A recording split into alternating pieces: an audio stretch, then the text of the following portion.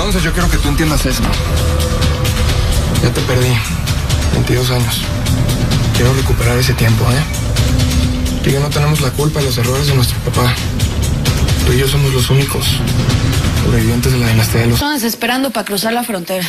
A ellos hay que sumarles la presencia de Felicidad, Violeta y pues la chela. ¿Y qué? ¿Quieres que las deporten para volverlas a cruzar al gabacho? Simón. Estoy aguantando nada más a que me confirmen el punto en donde las van a soltar. El cruce puede ser hoy mismo, chava, así es que tenemos que estar preparados. ¿Y esa información cómo la sabes, Carmela? Eso solo lo sabe la negra.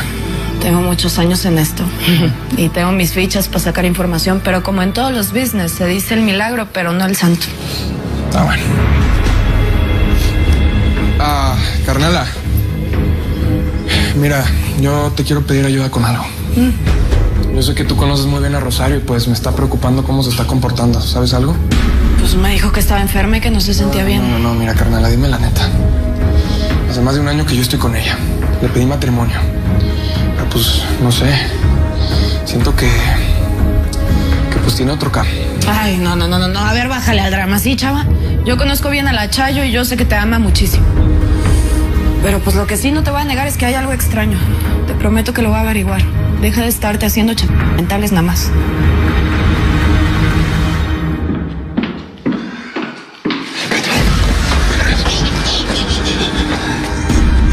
No sabes cómo he soñado contigo desde la primera vez que nos acostamos.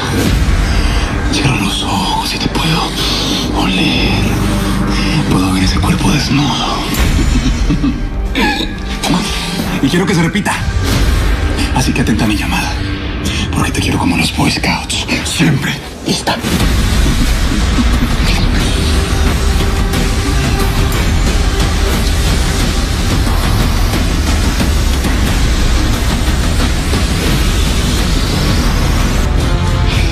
Mi hermano. Pues todo fue muy mágico, pues así como una película, como si estuviera ahí preparado para el momento. Como algo que pensé que pues nunca más iba a vivir, pues. Daniel se portó a todo dar conmigo, con la gente que nos hospedó. ¿qué haces, pues? Que bailamos un vals ahí en medio con la quinceañera ahí, bien abrazados, te lo juro. Mira, Chayo, conocí a alguien más. Tenía mucho tiempo que no me sentía tan feliz. Desde que murió la Abelardo, pues.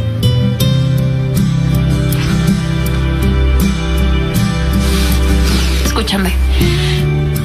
Pues no tienes nada por qué preocuparte ni atormentarte, ¿ok?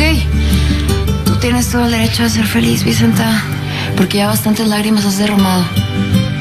Te digo algo, yo sé que allá arriba, Abelardo está feliz de verte feliz y de verte soñando y de verte sonriendo, porque de eso se trata el amor, de no pensar en uno, sino en el beneficio del otro.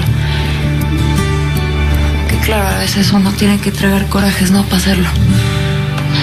Chayo, pues hombre, ahora sí me vas a decir qué te pasa. Salvador me dijo que has estado muy rara estos días. Mira, ya no platicas con él. Tú no eres así. A ver, ¿qué te pasa? ¿Qué no le vas a decir a tu carnala, pues? ¿Qué te pasa? ¿No vas a confiar en mí? ¿De verdad quieres probarme a mí por las malas? No eres nada, Rosario.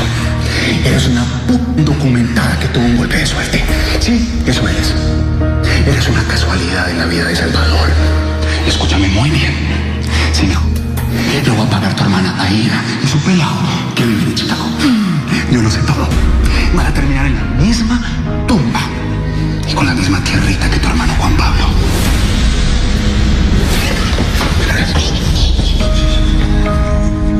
No sabes cómo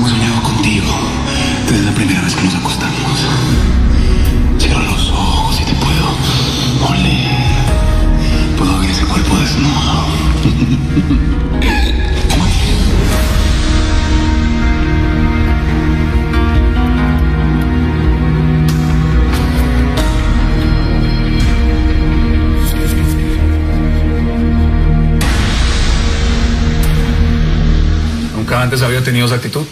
No, pues no, pues no, tú conoces a la Rosario. Tú sabes que es una chava muy, muy feliz, muy comunicativa y de repente se me pone bien rara, se me empieza a enfermar, a vomitar, no quiere que la toque, pues pensé que me quería dejar y que pues no sabía cómo decírmelo.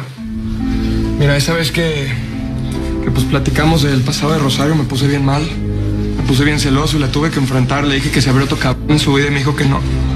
Que pues yo era el único hombre que amaba y pues ya, ya, ya no sé qué creer, ya no sé qué creer.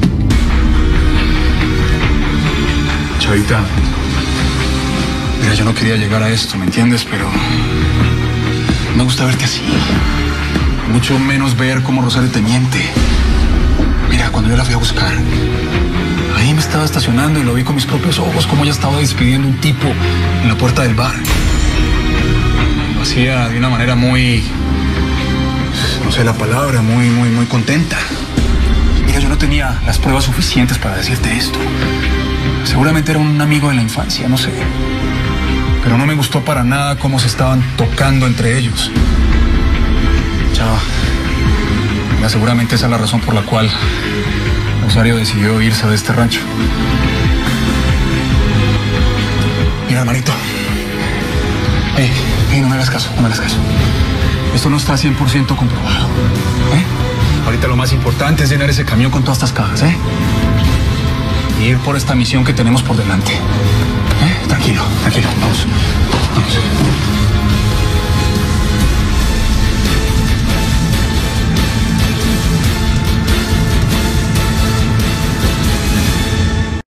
Aquí está el agüita y todas las cosas que nos pediste para tus migrantes, mija, para que estén bien. Y tal y como tú lo ordenaste, pues vamos a poner una pared trasera. Ahí la migra va a pensar que pues va toda la ropa y los accesorios para los migrantes. Atrás vamos a poner una pared falsa, donde podemos aguantar de 10 a 11 migrantes. Sabes que pues no van a ir muy cómodos, pero van a ir seguros. Ya mandé a blindar todo ese P. Pues las llantas están reforzadas para aguantar el desierto. Así es, y también pusimos un sistema especial de ventilación donde metimos muchas cajas con agua. Bueno, yo no sé por qué Chavita dice que van a ir incómodos. Eso es una chulada, es una limosina, ¿eh? Pues está bueno, pues muchas gracias.